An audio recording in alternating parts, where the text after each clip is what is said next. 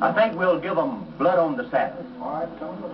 Oh, now, Tex, you know that song always upsets me. There you go. Complaining again.